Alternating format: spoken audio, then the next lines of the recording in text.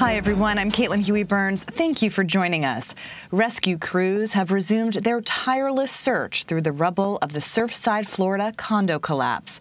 They had to pause their efforts Sunday night while explosives were used to bring down the remainder of the building. More than 100 families are still waiting on news about their loved ones.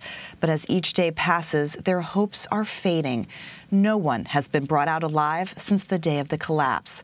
CBS News correspondent Manuel Bojorquez has more from Surfside. Rescue workers resumed climbing mounds of debris at the site of the collapsed condo in Surfside.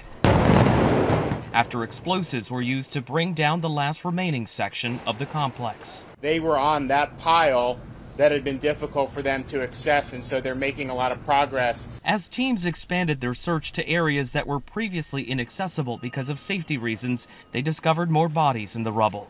Since the first responders were able to resume their work on the collapse last night, we have very sadly recovered three additional victims. Tropical storm Elsa partly prompted the demolition. Experts were concerned the rain and wind could crash the remaining section of the building. These uh, showers and thunderstorms will have some brief but gusty winds, and these winds could still be uh, quite strong. 12 days after the collapse, officials acknowledge tearing down the high rise marks another painful chapter for families. The weight of that building coming down, those buildings coming down, is on this entire community.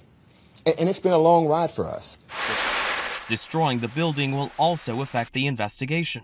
It'll complicate it some because we will have to do it from new debris rather than from what's standing in the air. Officials say teams of scientists and